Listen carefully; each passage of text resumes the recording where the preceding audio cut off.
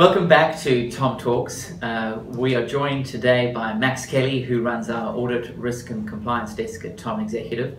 Welcome, Max, to Tom Talks. Hi, Rich. I'm looking forward to it. Thanks very much for uh, again volunteering to be here and to give us an update of the market, certainly in your field of can we just call it ARC? Let's call it ARC. And compliance. Um, but before we just we, we, we dive sort of head first into ARC, can you just give us a little bit of a background for those people that don't know you that might watch this? Uh, a bit about your background, how long you've been at Tom, and Yep. the areas in which you cover. Okay, so I have been at Tom, as hopefully you remember, for four years, uh, during which time we have recruited across internal audit, operational risk, compliance, financial crime, and IT risk. Uh, prior to that, I was recruiting in the UK for a small recruiter who focused on financial services for four years. Fantastic. Max, um, across the wider space that you and your team do recruit for, can you tell me over the last, let's call it 12 to 18 months, what has been driving demand and what um, within that, that sort of more specific group of skill sets that you covered, uh, which skill sets have been in demand? Yep. Um, so for us, I would say technology risk has been a huge focus for us over the last year. Uh, so I, I think I had a look at our statistics and hiring across tech risk and audit is up 25% on the period previous. Um, also compliance, um, we're still seeing huge demand there, not so much in institutional banking. I think um, over a year ago there was a huge demand for IB compliance professionals. I think a lot of that was driven by some of the reforms such as the OTC derivative reforms. Yep, yep. Um, but that has really tapered off now, so we've actually seen a 50% slump in IB compliance hiring. Um, but that's actually been uh, replaced by wealth management. So there's still a huge demand for compliance professionals in the wealth space. Uh, I think within the last year alone, all of the big four Australian banks have had an enforceable undertaking. So there's still a huge pressure for them to show the regulators that they're serious about things like conduct. Yeah. Um, and I would say the, the final skill set that we've seen the biggest increase in is also financial crime. So I, it's interesting because this is a space that we've only played in for a couple of years. But even though we've seen over the last four years a 50% increase in headcount in financial crime, the number of reported incidents has actually gone up 500% in the same time period. Oh my word, okay. So if um, we take from today and we try and crystal ball the next 12 to 18 months, do you see a similar pattern with regards to the demand for a certain skill set or do you see something different sort of, you know, creating an, uh, an urgency or a need?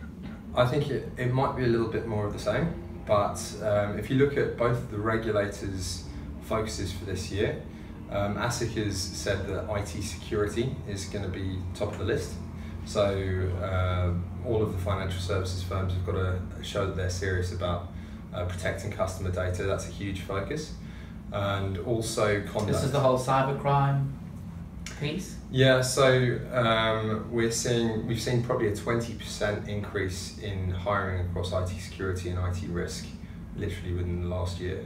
So we're putting a renewed focus on that, um, and that comes alongside culture and conduct as well. So I think if you look at the UK, banks have got specific conduct teams, whereas in Australia, they've conduct has become very much part of an existing function. So if you have um, within ARC, you have one skill set or another, and you say, let's say we crystal ball this, and, and you're correct, and these skill sets are going to be in demand. And certainly, if we, we're conscious on one, staying in a job and staying employed, and secondly, um, trying to either reinvent ourselves or focus on those roles that might be perhaps a little bit more lucrative, a bit more in demand, where would you suggest um, uh, the professionals that you deal with focus on their Yeah. skill sets and development? So, so the skill sets that we see um, increasing in demand and also the associated salary way above inflation are things like it's still IT security, um, but also you're seeing a number of data professionals moving into the risk space because it's the new age of data science and you've suddenly got all of these different processes and tools for capturing data and the regulators are obviously putting a lot of pressures on banks to make sure that that data is handled correctly. So you're seeing a lot of people being pulled out of the data management teams into risk teams and obviously charging a premium for their services. So we're seeing a lot of that, and um, conduct is is still going to be a huge driver. It's it's I wouldn't say it's a blank check, Yeah. but um, you're seeing a lot of people that have come off the major conduct programs for various banks that are going to be in high demand. Um, so our job as recruiters is to is to find those people and just hold their hands through um, hopefully their next transition. So you mentioned the IT risk, you mentioned conduct, there's Yeah. certainly skill sets that are in demand. In the same breath, though, you also mentioned that there's probably a, a, a dearth, a, a sort of a, a lack of abundance in those skill sets onshore. Um, for um, the types of staff here that are um, outside of those um, two skill sets, for our clients that um, you know employ people across the ARC spectrum, which skill sets do you think they may be in danger of, of at risk of losing? So we've obviously spoken about IT risk at length, but I still think that the the generation of candidates with that skill set is falling behind industry demand. So if you actually look at the major what you call hunting grounds for IT risk assurance people, it's going to be the likes of the big four audit firms and consultancies. And what's going to happen is the banks are continually going to take people from those firms, and we're going to find that places like PwC, KPMG, Deloitte, um, Ernst and Young are actually going to have to go offshore to try and replace that headcount. Um, so you're actually going to see those consultancies suffering, and you're going to see banks having to pay more for candidates with that skill set. Terrific. Any other comments you want to make about the, the next 12 to 18 months? Um, I read uh, something interesting this week. There's new legislative reform coming through for superannuation during the middle of the year. So um, I know that we'll be spending a lot of time making sure that we network with compliance professionals with superannuation experience. And, um, and if that's you, I would suggest getting your CV ready.